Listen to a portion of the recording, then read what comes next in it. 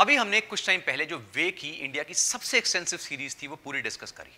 अब हम डिस्कस करेंगे वे का सेकेंड पार्ट वो है casein protein it's not a second part basically मैं डेरिवेशन की बात कर रहा हूँ। अब केसीन प्रोटीन को लेकर लोगों के मन में बहुत सारे डाउट्स हैं। स्पेसिफिकली जो डाउट्स आते हैं, वो ये आते हैं कि क्या केसीन वे में क्या डिफरेंस है।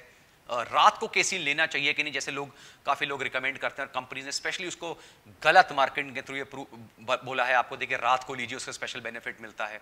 वो स्लो एक्टिंग है of course it is slow acting उसमें अभी हम देखेंगे स्टडीज़ के अंदर किस तरह वो स्लो एक्टिंग होता है बट क्या उसका कोई स्पेशल बेनिफिट है एज कंपेयर टू वे क्या वो वे से इन्फीरियर है? क्या ये जो वे प्रोटीन और केसीन के ब्लेंड आते हैं, क्या ये इंडिविजुअल वे और केसीन से बेटर हैं? और ऐसे कुछ और डाउट्स इस पर्टिकुलर वीडियो में या वीडियो सीरीज़ में हम डिस्कस करेंगे। तो जैसे कि हमने देखा था कि जो मिल्क होता है, उसमें 20 परसेंट होता है वे और 80 परसेंट होता है केसीन इसका मतलब है जब वे लिक्विड निकल जाता है तो जो पनीर बचता है या कॉटेज चीज़ बचती है या जो कर्ड बचता है that is your casein protein एक चीज़ आपके लिए जानना बहुत ज़रूरी है कि जब हम वे से केसिन को कंपेयर करते हैं तो वे थोड़ा सा सुपीरियर इसलिए माना जाता है क्योंकि जो उसके अंदर एसेंशियल अमीनो एसिड्स कंटेंट है वो थोड़ा सा ज़्यादा होता है स्पेशली ल्यूसन कंटेंट जो है, वो वे में ज़्यादा होता है. हाउएवर प्लीज़ अंडरस्टैंड कि डिफरेंस बहुत ही मिनिमल होता है, ये आप अपने दिमाग में बिठाइए। जब आप एसेंशियल अमीनो एसिड ल्यूसिन की बात करते हैं तो थोड़ा बहुत डिफरेंस है आपकी बॉडी को फ़र्क नहीं पड़ेगा। और केसीन भी जो है, उसकी भी जो पीडीसीएस वैल्यू है या बायोलॉजिकल वैल्यू है, वो ऑलमोस्ट वे की इक्वलेंट ही होती है। क्योंकि उसमें भी सारे के सारे एसेंशियल अमीनो एसिड्स मिलते हैं। अमाउंट में थोड़ा बहुत ऊपर नीचे डिफरेंस आता है। और हम देखेंगे आगे कि एक्चुअली में मसल प्रोटीन सिंथेसिस में भी इनमें कोई डिफरेंस नहीं है। ऑफकोर्स केसिन को एज अ फ़ूड यूज़ करते हैं, लेकिन वे की तरह इसके इंडस्ट्रियल यूजेस भी होते हैं। फॉर एग्ज़ाम्पल ये पेपर टेक्सटाइल्स पेंट लेदर या फाइबर इनकी प्रोडक्शन में काम आता है। जो आपने नाम सुना होगा मिसलर केसिन तो बेसिकली मिसल्स क्या होते हैं कि जो केसिन होता है, जो मिल्क के अंदर मिलता है, वो कॉम्प्लेक्स ग्रुप ऑफ़ मॉलिक्यूल्स में मिलता है। जिन, इन मॉलिक्यूल्स के जो ग्रुप्स होते हैं, इनको हम मिसल्स कहते हैं। इसलिए आप उसे मिसलर केसिन भी कहते हैं। ये चीज़ बिल्कुल सच है और प्रूवन है कि जो केसिन होता है, वो एक स्लो डाइजेस्टिंग प्रोटीन होता है एज कंपेयर टू वे 2018 में जर्नल ऑफ़ डेयरी साइंसेज में एक चाइनीज़ और न्यूजीलैंड रिसर्च टीम ने एक स्टडी करी, जिसमें उन्होंने whey protein isolate milk protein concentrate और केसिन प्रोटीन वगैरह की जो डाइजेशन प्रोसेस है, उसको कंपेयर किया। उन्होंने देखा कि जब केसिन को उन्होंने इंटेक करा ह्यूमंस ने इंटेक करा तो वो आपके जो स्टमक है, उसमें जाके एक बॉल जैसा स्ट्रक्चर फॉर्म कर देते हैं। दस मिनट के डाइजेशन के अंदर ही ये प्रोसेस स्टार्ट हो जाता है, यानी ball formation type structure start हो जाता है बनना। और उन्होंने देखा कि इन बॉल्स को प्रॉपरली डिजोल्व होने में ऑलमोस्ट तीन से चार घंटे का टाइम लगता है। एग्जामिन डॉट कॉम की रिसर्च में बताया गया कि अगर आप 40 grams of casein protein consume कर रहे हैं तो आपका जो एसेंशियल अमीनो एसिड लेवल है आपके ब्लड में, वो ऑलमोस्ट छह घंटे तक एलिवेटेड रहेगा एज कंपेयर टू वे जिसमें एसेंशियल अमीनो एसिड लेवल है वो तीन से चार घंटे तक एलिवेटेड रहता है। इससे पहले कि हम केसिन की स्टडीज़ में आगे बढ़े, मैं आपको बताना चाहूँगा कि इसके ऊपर भी मैंने एक ई बुक लिखी है शॉर्ट ई बुक जिसमें केसिन के बारे में जो मैक्सिमम स्टडीज़ अवेलेबल है, जिसमें इसको वे वगैरह से कंपेयर किया गया और इसकी परफॉर्मेंस एनहांसमेंट जो एक्टिविटीज़ हैं या जो उसकी प्रॉपर्टीज़ हैं, उसको टेस्ट करा गया है, वो सारी स्टडीज़ और बाकी इन्फॉर्मेशन मैंने उस ई बुक में दी हुई है। अब हम उन सारी स्टडीज़ को डिटेल में डिस्कस नहीं करेंगे लेकिन हम एक एज अ कंक्लूजन देखेंगे। फॉर एग्ज़ाम्पल कुछ स्टडी में दिखाया गया है कि जब आप वे और केसिन को कंपेयर करते हैं तो थोड़ा बहुत मसल प्रोटीन सिंथेसिस में डिफरेंस आता है ऊपर नीचे। लेकिन मैक्सिमम uh, स्टडीज़ में दिखाया गया है कि एक्चुअली में दोनों में कोई डिफरेंस नहीं होता। 2004 में एक journal medicine and science in sports and exercise में एक यूएस रिसर्च टीम ने स्टडी करी। उन्होंने जब एक्सरसाइज के बाद दो ग्रुप्स को वे और केसिन दिया तो उन्होंने चेक करा तो उन्होंने बताया कि जो मसल प्रोटीन सिंथेसिस है, चाहे वो शॉर्ट टर्म में थोड़ा बहुत amino acid difference of course आएगा बिकॉज़ जो वे है वो फास्ट एक्टिंग होता है केसिन स्लो एक्टिंग है, लेकिन लॉन्ग रन में मसल प्रोटीन सिंथेसिस में कोई डिफरेंस देखने को नहीं मिला। दोनों में एसेंशियल अमीनो एसिड्स वगैरह और उसके टोटल बेनिफिट्स ऑलमोस्ट सिमिलर थे। सो बेसिकली स्टडीज़ में यही चीज़ देखी गई है कि जब आप वे प्रोटीन लेते हैं तो शॉर्ट टर्म में जो मसल प्रोटीन सिंथेसिस है, वो जल्दी अकर होता है। लेकिन अगर आप केसीन ले रहे हैं तो वही मसल प्रोटीन सिंथेसिस जो है, वो लॉन्ग रन में भी कंटिन्यू रहता है। तो लॉन्ग रन में अगर आप वो चीज़ चाहते हैं तो casein is better short term it is whey लेकिन amount of muscle protein synthesis अगर हम सेम अमाउंट ऑफ़ दोनों प्रोटीन ले रहे हैं तो वो सिमिलर होता है। 2013 में journal of sports science and medicine में एक यूएस रिसर्च टीम ने कुछ बास्केटबॉल प्लेयर्स को आठ हफ्तों तक 24 ग्राम वे और 24 ग्राम केसीन वर्कआउट से पहले और इमीडिएटली बाद में दिया। और उन्होंने देखा कि आठ हफ़्ते के बाद जब वो चार दिन हफ़्ते में प्रॉपर ट्रेनिंग कर रहे थे तो उनको कोई भी स्पेशल बेनिफिट नहीं हुआ किसी डिफरेंट टाइप के प्रोटीन से। तो वे और केसिन चाहे उनकी बॉडी कॉम्पोजिशन हो स्ट्रेंथ एनहांसमेंट हो इन बाकी चीज़ों में ऑलमोस्ट सिमिलर इफ़ेक्ट आया दोनों प्रोटीन से। सो so, अगर आप मसल प्रोटीन सिंथेसिस की बात कर रहे हैं तो जो बहुत सारे कंफ्यूजन दिमाग में लोगों के क्रिएट करे गए हैं कंपनीज़ द्वारा वो गलत है।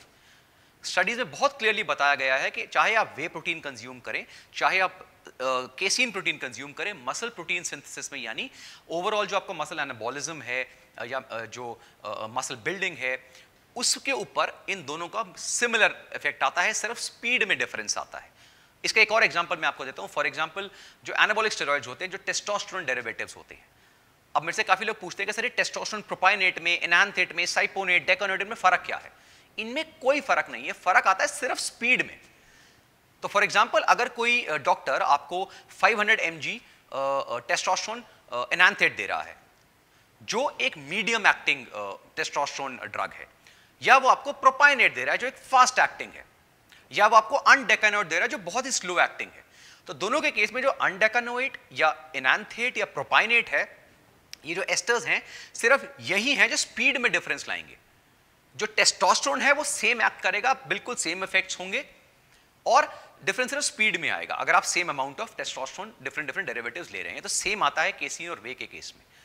सिर्फ़ स्पीड में डिफरेंस आता है ओवरऑल मसल प्रोटीन सिंथेसिस में और कोई मसल बिल्डिंग में आपका कोई भी स्पेशल बेनिफिट दोनों में नहीं देखा गया कि वे बेटर है या केसिन बेटर है, ऐसा नहीं है, दोनों बिल्कुल सिमिलर है। अब एक क्वेश्चन आता है काफ़ी जो फ़ेमस क्वेश्चन है इनफैक्ट ये बहुत ही डिसेप्टिव मार्केटिंग कंसेप्ट है कि रात को केसिन लेना चाहिए यू नो स्लीप से पहले।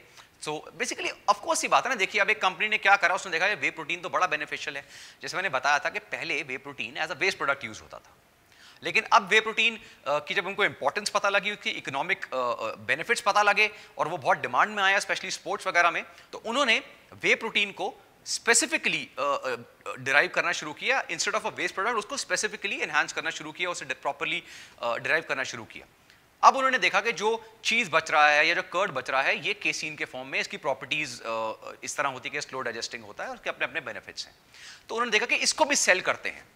तो उसको सेल करने के लिए उन्होंने बोला, भाई, ये स्लो डाइजेस्टिंग है तो इसको रात को लीजिए, इससे आपका जो, रात को आप कैटाबॉलिक स्टेट में नहीं जाएँगे ठीक है, ये आपको बहुत हेल्प करेगा क्योंकि ये स्लो डाइजेस्टिंग होता है, छह से आठ घंटे लेता है डाइजेस्ट होने में। ऑन द अदर हैंड काफ़ी सारी जो स्टडीज़ है वो ये भी कहती हैं। स्टडीज़ नहीं बोलूँगा इनफैक्ट काफ़ी सारे जो स्टेटमेंट्स हैं वो आपको सुनने को मिलेंगी कि भाई रात को आपको खाली पेट सोना चाहिए, ज़्यादा नहीं खाना चाहिए। स्पेसिफिकली जो मैंने अभी मिथ क्लियर करी थी कि रात को काब्स नहीं लेने चाहिए विच वॉज़ अ मिथ तो ये सारी की सारी स्टेटमेंट सुनने को मिलती है। एक तरफ़ कह रहे हैं कि केसिन लेके सोना चाहिए या केसिन रात को लेना चाहिए। एक कहता है नहीं लेना चाहिए, रात को कुछ भी हैवी तो रिसर्च में देखा गया है कि ये जो कंसेप्ट है, जो प्री स्लीप प्रोटीन इंटेक का कंसेप्ट है ये बेसिकली उनके लिए इंट्रोड्यूस किया गया था जो रात को लेट uh, वर्कआउट कर रहे हैं जिनकी रिकवरी उस टाइम शुरू हो रही है उसके बाद वो प्रॉपर मील नहीं ले रहे हैं।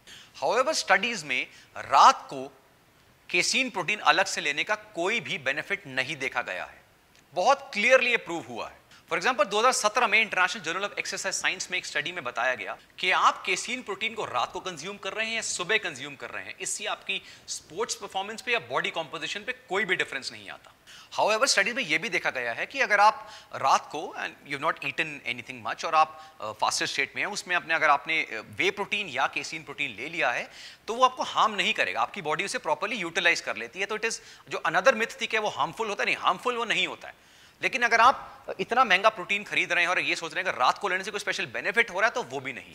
अब इन सारी स्टडीज़ का जो एक कंक्लूजन निकलता है, वो ये निकलता है कि अगर आपने पूरे दिन में एडिक्वेट प्रोटीन कंज्यूम करा हुआ है, चाहे वो वे प्रोटीन के फॉर्म में हो, चाहे वो केसीन के फॉर्म में हो, चाहे वो ओवरऑल डाइटरी प्रोटीन जो है आपका होल फ़ूड से ले रहे हैं, उसके फॉर्म में हो तो आपको रात को केसीन या और कोई प्रोटीन लेने का कोई भी स्पेशल बेनिफिट नहीं है।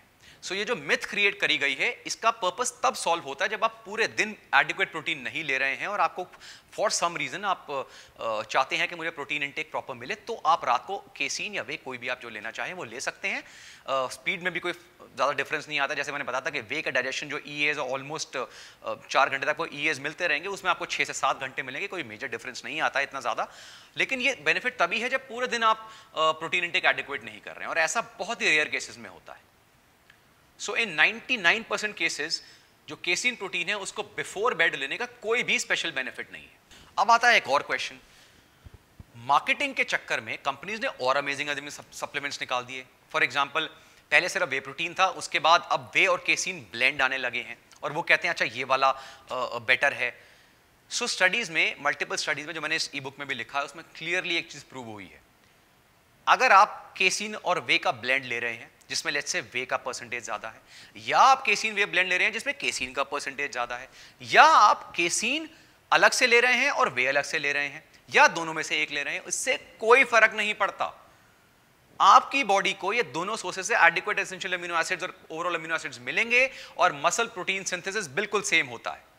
तो इसका मतलब क्या है कि अगर आप आपने एक सप्लीमेंट मार्केट में देखा, जो है वे एंड केसिन ब्लेंड अब एक नॉर्मल वे प्रोटीन से वो वे और केसिन जो ब्लेंड है वो दो हज़ार रुपए महँगा है तो you are just wasting money वो कोई स्पेशल बेनिफिट नहीं देगा। अगर एक केसिन प्रोटीन वे प्रोटीन से बहुत ज़्यादा महँगा है कोई स्पेशल बेनिफिट नहीं होगा। अगर वे प्रोटीन केसिन से बहुत ज़्यादा महँगा है कोई स्पेशल बेनिफिट नहीं होगा। You should not waste your money because ये गिमिक्स हैं। सो so, अगर आप वे प्रोटीन केसिन प्रोटीन का ब्लेंड ले रहे हैं या वे और केसिन अलग अलग ले रहे हैं मसल प्रोटीन सिंथेसिस पे कोई डिफरेंस नहीं आता। एज लॉन्ग एज आपकी बॉडी में एडिक्वेट प्रोटीन सोर्स आ रहा है इन सारे different type of milk protein जो आपको मिल रहे हैं सप्लीमेंट uh, के फॉर्म में इनमें कोई भी फ़र्क नहीं आता। सो आई होप जो केसीन को लेकर हमारे मन में सारे डाउट्स थे इस वीडियो में वो हमने क्लियर कर लिए हैं। सो so ये uh, जो आपका सबसे पहला डाउट था कि क्या वो स्लो डाइजेस्टिंग प्रोटीन है हाँ वो स्लो डाइजेस्टिंग प्रोटीन है। कुछ घंटों का फ़र्क आता है ओवरऑल डाइजेशन में। आ, लेकिन इससे मसल प्रोटीन सिंथेसिस पे या बॉडी कॉम्पोजिशन वगैरह पे कोई फ़र्क नहीं आता। आपको रात को केसीन लेने की कोई ज़रूरत नहीं है। अगर कोई आपको बोल रहा है स्पेशल बेनिफिट मिलेगा, वो झूठ बोल रहा है, गलत बोल रहा है। ये तभी इसका यूज़ तब है जब आपका पूरे दिन में जो आपका प्रोटीन कंटेंट है, वो एडिक्वेट नहीं मिला है।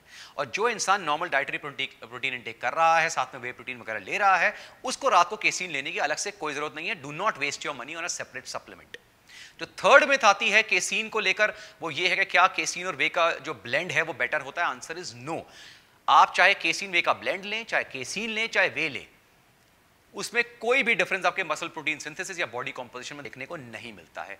आपको इस टाइम ध्यान देना है अपने जो आप खर्चा कर रहे हैं, जो आप पैसे खर्च कर रहे हैं, आपको कोई भी ज़बरदस्ती का कॉस्टली फैंसी सप्लीमेंट लेने से कोई बेनिफिट नहीं मिलेगा, ये मार्केटिंग टेक्निक्स होती। सो आई होप आपकी केसीन को लेकर सारे के सारे डाउट्स क्लियर हो गए हों, और ऐसी बहुत सारी अमेजिंग वीडियोस के लिए देखते रहिए वी स्टूपिड